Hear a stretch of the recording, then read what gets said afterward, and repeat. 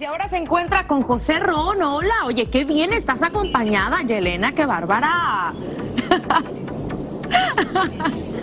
Súper acompañada, ¿eh? Súper.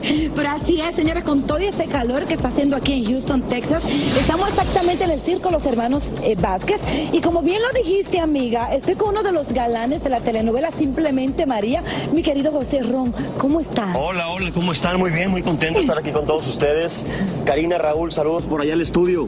Óyeme, eh, háblame de la novela. ¿Es cierto de que ya mm, muy poco se va a terminar? Adelántame algo. Sí, mira, Alejandro Rivapalacio debe de luchar por el amor de María. Yo espero que María recapacite y se dé cuenta que Alejandro es el amor de su vida. Tuvo errores, como cualquier persona, Ajá. pero Alejandro es el indicado. Mira, Alejandro, el personaje que tú haces en la novela Simplemente María es Alejandro. Alejandro es un hombre calculador, eh, millonario, es conquistador que tiene todas estas mujeres vueltas locas. ¿Tú eres así en la vida real? No, no, no, Alejandro, ¿sabes qué? Le, le faltó eh, aprender mucho de la vida, era esta figura también como, como, como paterna, aprender lo que de su padre muchas cosas. Y entonces tuvo todo en la vida, tuvo todo muy fácil, eh, hizo sufrir demasiado a María, eh, realmente no valoraba las cosas, entonces para él fue demasiado sencillo lastimar, hacerle lo que le hizo y, al final pues se dio cuenta que cometió un error. Y en la vida real, ¿tú has lastimado muchas mujeres?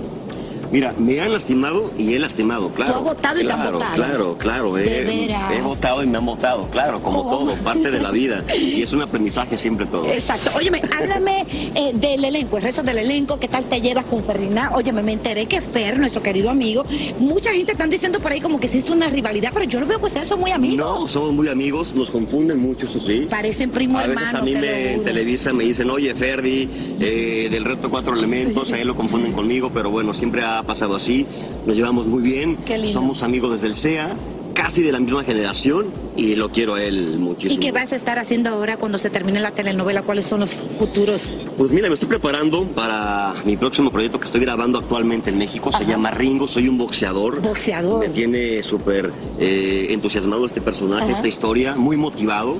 Y me encanta, ¿qué te puedo decir? Me encanta, me encanta mucho. Por ahí te vemos con una batería en mano. ¿Piensas de repente hacer un, un grupo? ¿Sabes qué pasa? Que me encanta la música. La música es de mis pasiones. Yo en Guadalajara inici- inicié con esto de la música. Ahora lo retomo. Es complicado de repente por los tiempos de trabajo. Pero la música es de mis pasiones. Está aquí en mi corazón.